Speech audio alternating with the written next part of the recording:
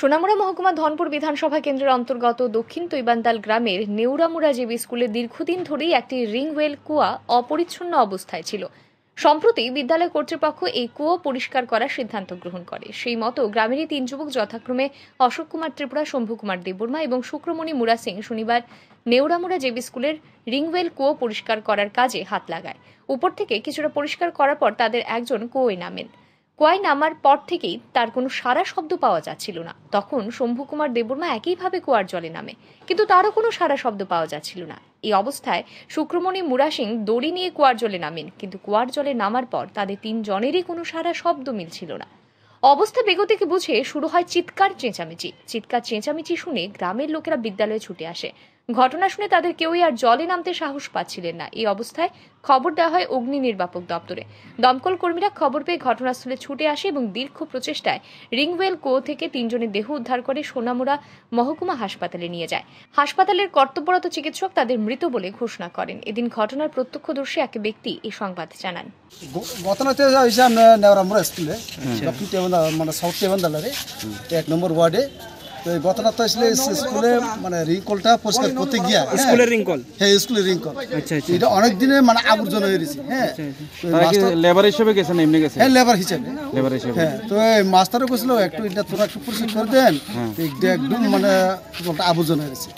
এরপরে মোটামুটি মেশিন যে মাস্টার গেছে মাস্টারের নাম জানেননি? হ্যাঁ নামটা এসে আপনি নাম তখন আমি আচ্ছা ঠিক আছে। স্কুলটার নাম কি? স্কুলটা নেওরামুড়া স্কুল।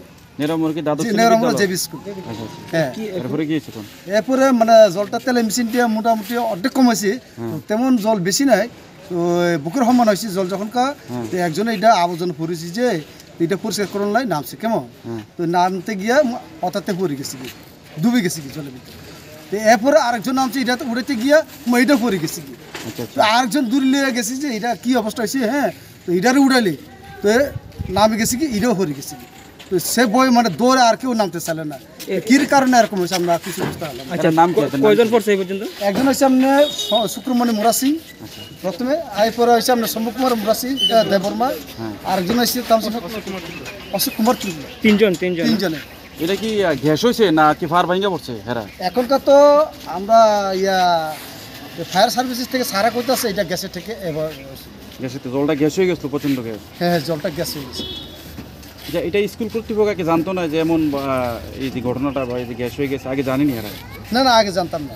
আগে তো মানে গতবার তো আমরা ওয়ার্নিং করছিল মোটামুটি সে সময় কোনো মানে অঘটন নেই তো এবারও মানে প্রচারটা করতে গিয়ে এখন এই মানে একজনের বাসে তো লাস্টে তিনজনও মারা গেছে? তিনজনে মারা গেছে। এদিকে ঘটনার বিস্তারিত বর্ণনা দিতে গিয়ে দমকলের এক আধিকারিক জানান আবর্জনা পড়ে থাকতে থাকতে কুয়োর জলে বিষাক্ত গ্যাস সৃষ্টি হয়েছিল। এতে অক্সিজেনের পরিমাণ অত্যন্ত কমে গিয়েছিল। এর ফলে এই মর্মান্তিক দুর্ঘটনা ঘটে বলে জানান তিনি। একটু দশ দিকে আমরা কল পাইছি। ইয়েতে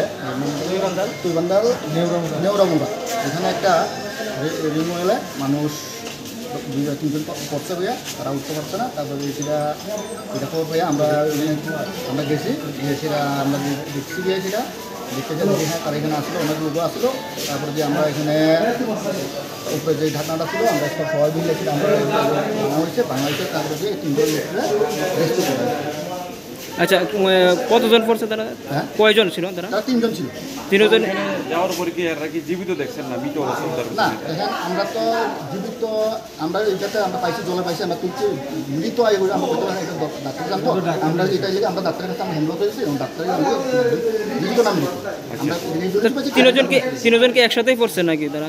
না তারা কত পাট পাট করেছে না। একজন তো মানে প্রথমে যে তারপর দিয়ে কি হয়েছে? আরেকজন যে সময় তারা আইসিস না দিকে তারা দেখতে গেছে দেখতে গেছে তাই না আমরা দেখ- তাই আছে এখানে একটা তারা একটা গ্যাস হয় এটার কারণে এটা কি মনে হয় প্রাথমিক ধারণা স্যার কি- প্রথম প্রাথমিক ধারণা কি মনে হয়? কীভাবে মারা গ্যাসের প্রয়োজন গ্যাস হয়।